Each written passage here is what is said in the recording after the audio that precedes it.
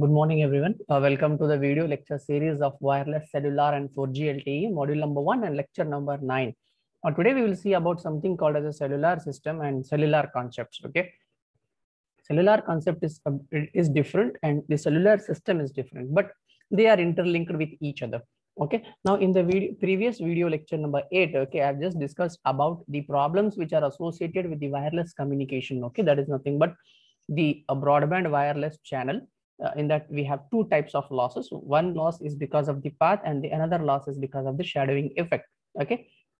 How we try to avoid those particular line of sight communication okay? Now we'll try to discuss more in detail but uh, uh, before uh, discussing more and uh, in detail and trying to analyze how, how, they can be avoided okay? Now first let us study about the uh, cellular system and its concepts okay? So the when it comes to the cellular system okay or the concept here uh, what we try to do here in the cellular concept is nothing but there are a lot of uh, possibilities are there where we can try to reduce the uh, losses and we try to uh, extend the uh, uh, allowable maximum transmit power.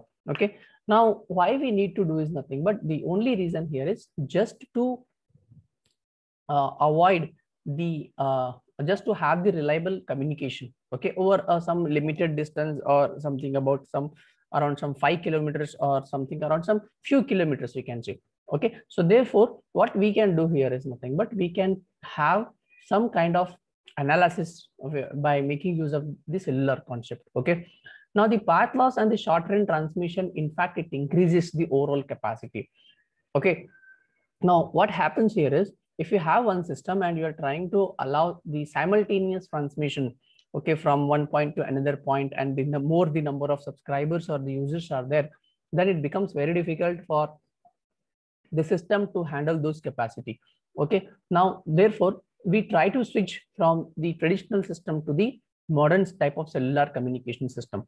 Okay i'll just uh, just show you how actually this particular uh, cellular system uh, works or what do you mean by the cellular concept uh, system and it's some basic concepts. Okay which is more required.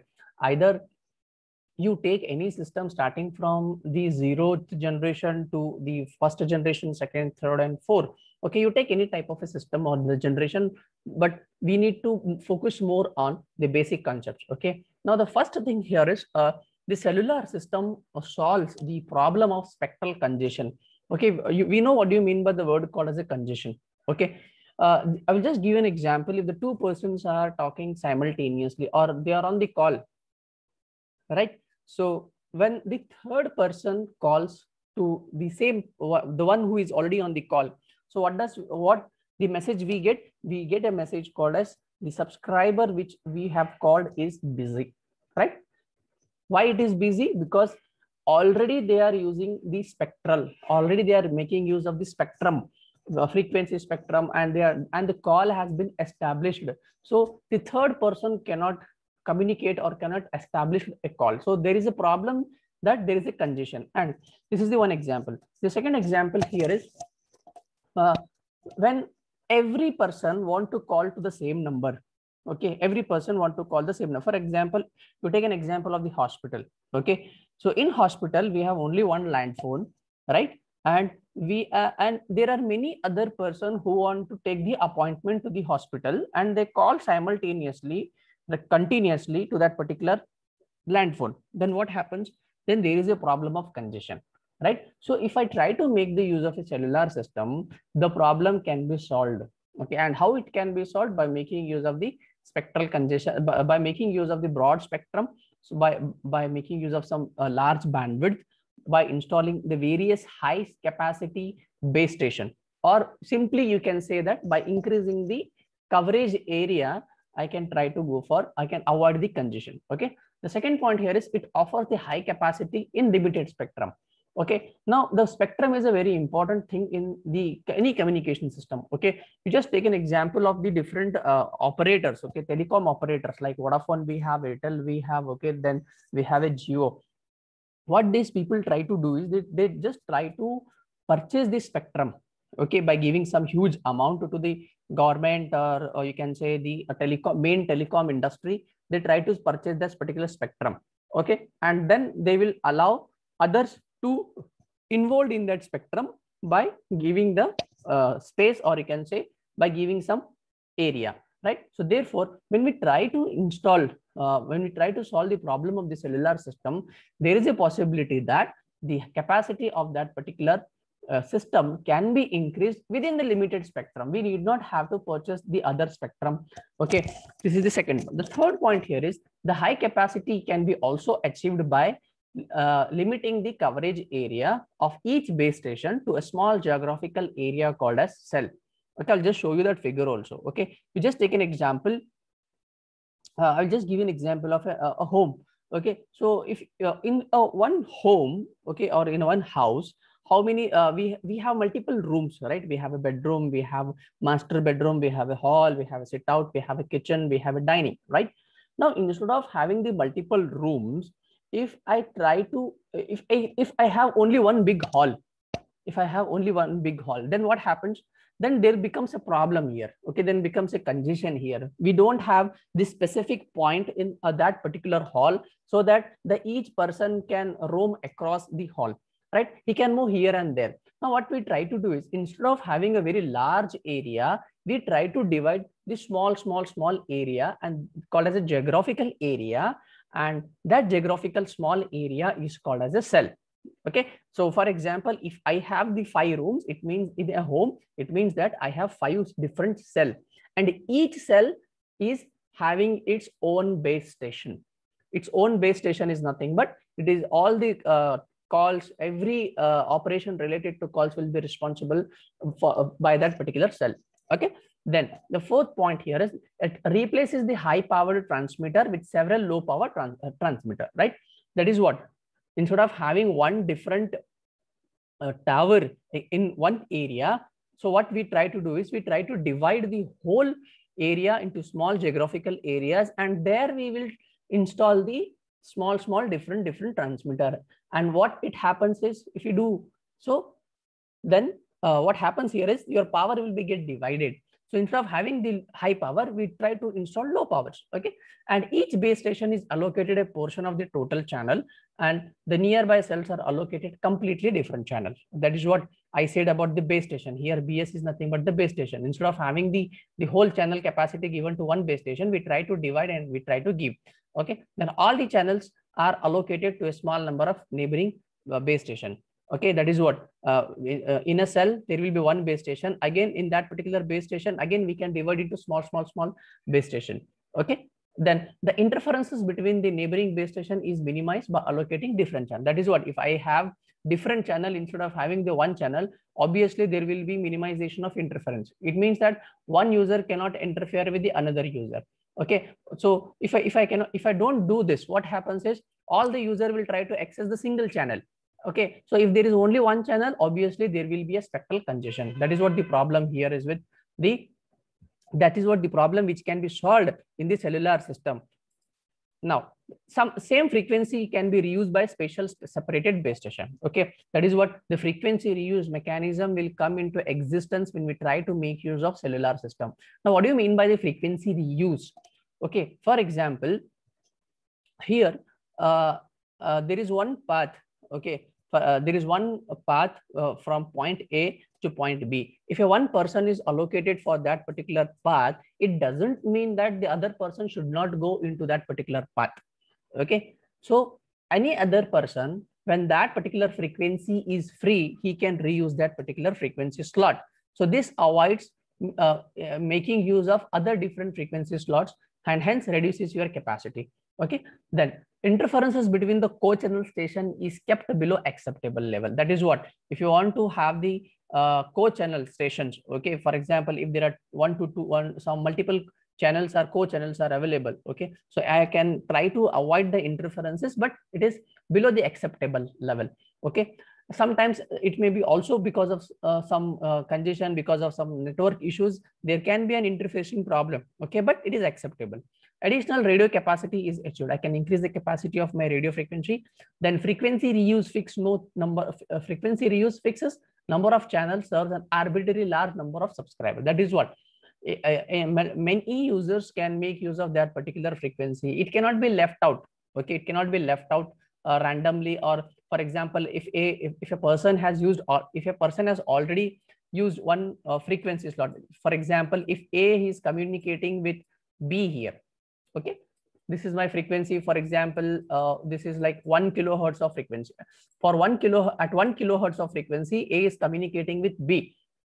Now, after communication is completed, okay, now this particular slot is free, right? So again, the C person can use the same frequency slot and he can communicate with D also, right? So therefore, now therefore, the frequency reuse mechanism plays an important role. And from this, I can make use of number of multiple number of subscriber can be increased. Okay. So if I, if I do not make use of frequency reuse mechanism, then what will be the problem here is now if A has already used a B, okay, and if a C want to communicate with D, okay, then this C has to make use of different frequency slot. So this frequency slot goes empty and this frequency slot, if this is empty, then it is just like a space consumption, space consumption, hardware consumption, everything.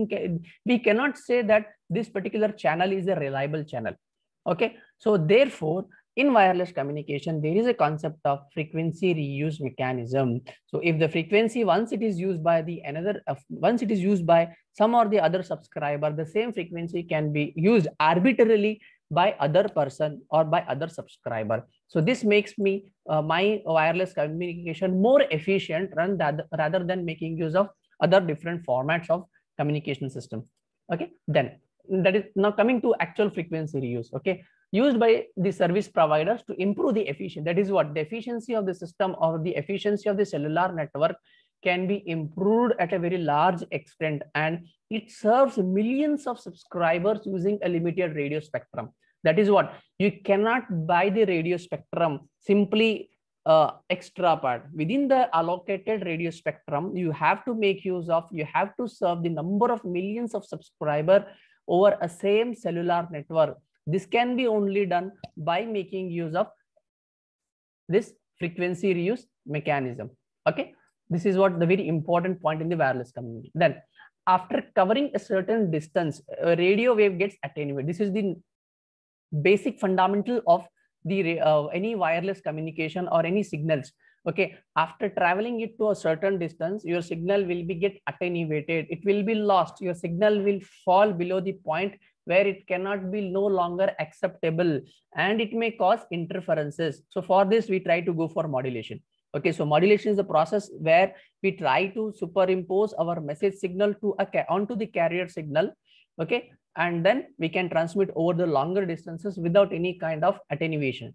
Okay, so therefore, this is the one problem which we may face in the wireless communication that the form after covering a distances, the signal may get interference or it may get attenuated. So therefore, what we try to do here is a transmitter transmitting a specific frequency range will have only a limited coverage area. That is what a cell will be having a limited coverage area. If the cell is trying to, if your signal is in this particular cell, okay, and the coverage, uh, if there is another signal who is belonging to the different cell, okay, if these two want to communicate, okay, over the longer distance, over a limited specific range or limited coverage area, then there is an another issue. Then there is another solution for this is nothing but handoff operation. We will come. We will see in, uh, into the next part. Okay. So therefore, transmitting transmitting a, a specific frequency range will have a limited coverage area. This is what this limited coverage area. I cannot just simply cross here. There are some protocols. There are some rules. This uh, uh, wireless communication or the particular cell has to follow when if if if, if it want to change its cell area okay? So what is happening is beyond the coverage area the frequency can be reused by another transmitter. That is what if the signal is going beyond the coverage area then it can be reused by the another transmitter. That is what if it trans if there is one transmitter here and there is another transmitter here so if the two wants to go out of the cell of the coverage area, then this becomes completely free. So one can make use of this particular frequency so, so that the efficiency is maintained.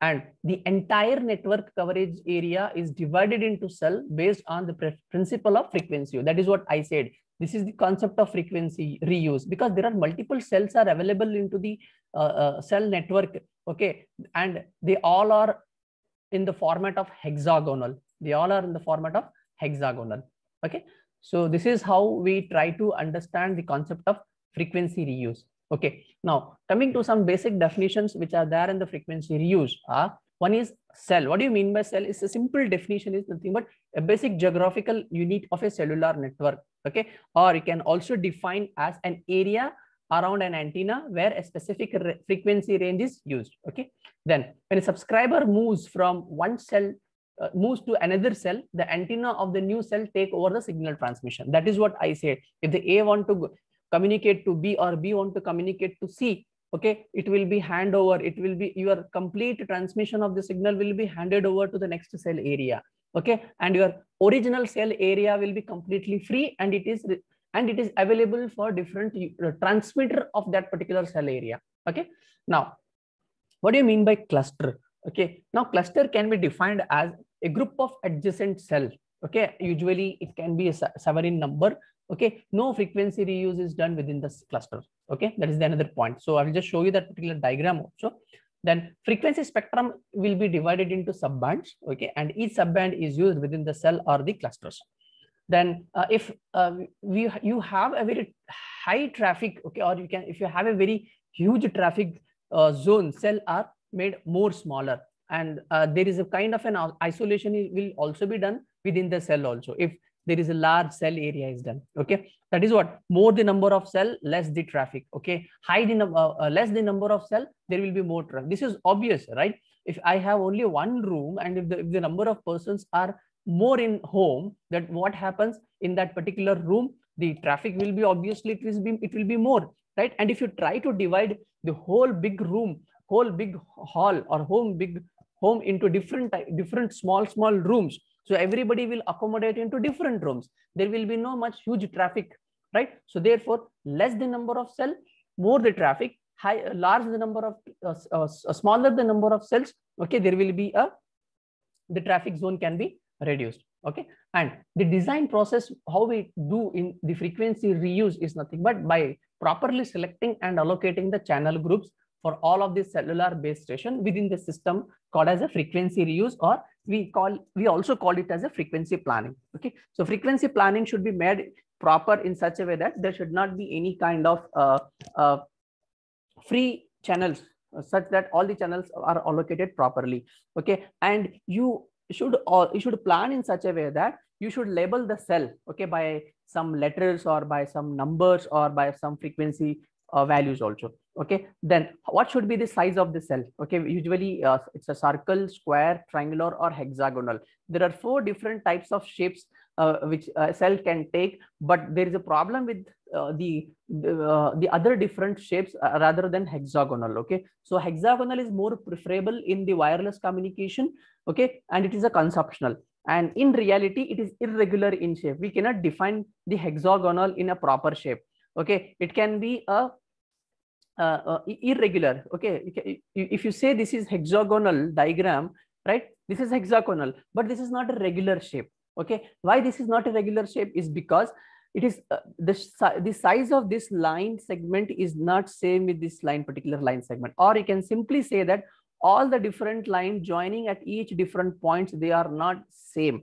Okay they are not same. So that is why the reason uh, we, we, we cannot call it as a uh, regular uh, hexagonal okay? So if you draw it very properly and very neatly okay making sure that all the lines are proper joining with all the line segment then we can we can say that the hexagonal is regular okay? So this is what the difference between regular and non-regular uh, shape of the hexagonal. But make sure that uh, uh, when it comes to a question of designing the cell shape it will be always hexagonal okay? Triangular we cannot go with the triangular okay because uh, when you go we cannot go with even circle also because if you say this is a circle here and this is a circle here okay there is another circle here okay there is a possibility that there is a small gap gap when all the circles are joined here you can just see here there is a small dot dot Okay. And this dot creates a problem that when a person comes into this area, he will not find any kind of a network. So that is a problem with the circle. Okay. Even for the square, square also, here I cannot cover the large geographical area or it's, it's not a kind of a proper systematic. Okay. There may be problem with this uh, adjoining points. Okay. Uh, and other things can also be done. And what about this triangular? Okay. Even the triangular cannot hold good for in uh, hold good in wireless communication. You can just see here, okay, how the triangles are being uh, uh, uh, joined at a at a single point. Okay. Now, if you look at this particular figure here, it appears to be an hexagonal. So therefore, instead of going with the circle and square and triangle, triangular, we more prefer the hexagonal as compared with others. Okay. So this is the concept of uh, cellular uh, again in uh, frequency um, frequency planning or frequency reuse mechanism okay now just look at this particular figure now what we what i have what i had just said that if you want to perform the cluster okay uh, then it should be all adjacent to each other and it is usually seven in numbers okay? Now just just look at this particular uh, diagram here okay? So this is this is one cluster okay? You can see there is a dark line outer line okay? You just you can see there is a dark outer line here okay? So this forms one cluster okay? This is cluster number one cluster number two and this is cluster number three okay and each cluster has its own uh, uh, cell small uh, subdivided cell okay or you can say simply cell okay so this is one two okay this is 3, 4, okay, 5, 6, and 7. Now, what is the cluster size? The cluster size is 7. The cluster size is 7 and it is and it repeats for all the different clusters. Okay, and they are designed in an hexagonal fashion. Okay, and how this is how uh, the clusters are being designed and they have been represented. Okay, so in hexagonal model, the base transmitter can be in the center of the cell or on its three vertices. Okay, you can just see here. I can put the base station here, base station one, base station two, and base station three at uh, at a number uh, at an alphabet A. Okay, and they are all are equally divided. That is reuse. No, what is the reuse factor? One more thing I want to add it to this is nothing but the reuse factor for this particular cell structure is nothing but one divided by seven okay? Because i have seven different small cells so you, what you should do is the how to calculate the reuse factor is nothing but it is one divided by 7 okay? Now the centered excites the cell using omnidirectional uh, whereas edge excites cell using the directional antenna. This is how we try to design the uh, antenna uh, how uh, try to design the cell structure by using some different types of antennas here okay? And the cellular system is having yes duplex channel okay? Duplex uh, there are th three different types of uh, communication or three different types of transmission uh, that actually takes place okay? That is half duplex duplex half duplex and full duplex okay? So uh, all the cellular system has the s duplex channels okay? And each uh, cell is allocated with k sub channels but make sure that the value of k should not be greater than s okay and if the s channels are allocated to n cells into a unit then the disjoint uh, channel and the disjoint channel, the total number of available ch channels is equal to S is equal to K into N. So if you have uh, three cells, okay, three cells and the allocated uh, for each cell is nothing but two, it means that three twos are six. So the value of S will be six. Okay, again, this is uh, more in detail about this uh, uh, frequencies, uh, frequency reuse. We will not go into this. This is the another model locating of how the co-channel is being done. So here I have one alphabet A okay at different uh, level. You can just co, co co or simply you can allocate the values okay? So again uh, channel assignment uh, is not required okay? So here uh, i'll just show you the another uh, thing here. Uh, just look at this particular concept of cellular mechanism here okay so this is uh, the cell and this is the cluster. That is what i have said. And uh, how they have uh, how the analysis is been done in the wireless communication or uh, how this can be done by using uh, by putting into more detail into the mathematical modeling. Okay now uh, there is one more thing uh, uh, i will try to more focus here is nothing but the analysis of the cellular system okay? So if you want to increase the performance of the wireless communication significantly uh, okay then you need to try to reduce the co-channel interferences. This is the first point okay? And there should be a kind of an isolation you have to do okay when it comes to the uh, uh, again the wireless communication. So please remember that the performance and the uh, efficiency of the system should not be get degraded as number of number of this the channels sorry as number of the number of cells are increased okay? So it again completely depends on how we try to model it using some mathematical model okay? Uh, there are different some there are some formulas also they have used okay? How uh, uh, these are the standard formulas which they have referred okay? By making use of some uh, Friis law or empirical path loss formula okay? Trying to find the power efficiency and some uh, some uh, uh, uh, uh, signal to noise ratio okay? So we will not focusing we will not focus much much more in detail but there is an there is one topic here in this cellular concept is nothing but called as a sectoring okay? That is what i have just explained in the ppt about the sectoring only okay? So this sectoring is nothing but how you try to divide it okay? How you try to divide one sector okay? You just take an example of that honeycomb okay how they try to divide? Okay in the whole bunch of the honey sectoring how uh, they are divided into small small small honey blocks right? So here also there is one popular technique which we use in the uh, wireless communication is nothing but called as sectoring of cell. Okay uh, and it is more effective if the frequencies are reused. Okay now always our sectoring will be uh, done based on the uh, frequency reuse mechanism. Okay if you just look at this particular uh, figure here okay? Figure number a is a three sector. It means that you can minimally divide it by three sectors. Okay? And it is called as 120 degree. Okay? If you just look at this here this is a center point. Dark point is a center point. Okay? So this sector number one it is uh, divided in such a way that it, it forms 120 degree. This is 120 degree. This is 120 degree. So the total will be how much? It is 360 degree.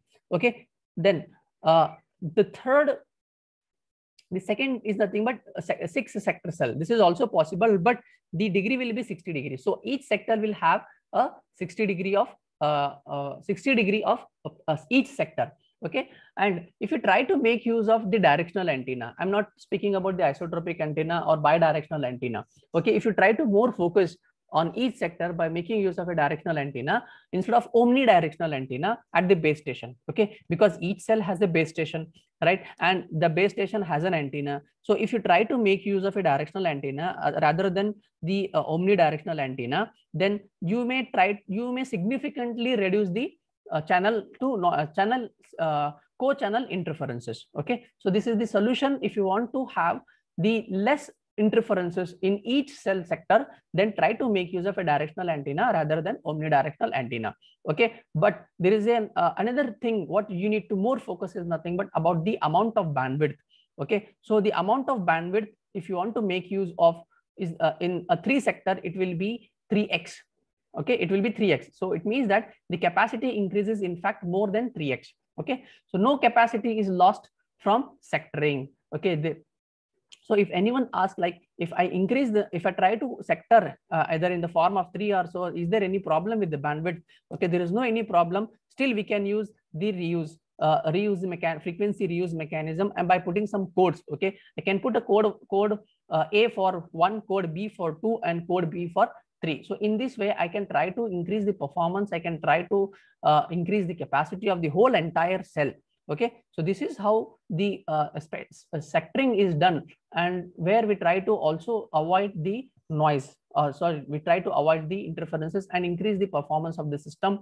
Okay either it, it, let it be in the time in the form of time or in the time of code or in the time of frequency slots okay? But still it can be reused. But the only thing is uh, here if you try to make use of the sectoring, okay, your signal to noise ratio of the particular system of the frequency, uh, it will be one divided by three. If you make use of six, uh, if you make use of seven, it can be one divided by seven. So either with respect to, to the frequency or whether uh, either with respect to, to the degree, you can mention and you can just overcome the whole problem, okay. So this is the universal frequency reuse if the factor is one. If the if f is equal to one, this is how it uh, it get visible if the factor is 3 this is how it get visible Okay, so uh, it is more explained uh, uh, with the graphically here. Okay, so uh, with this, uh, I will just conclude with this topic of the sectoring and the basic concepts of cell. So in the next video lecture, we will see about how we try to avoid the fading and what do you mean by actually the fading here. Okay, so with this, I conclude the video lecture today. Thank you.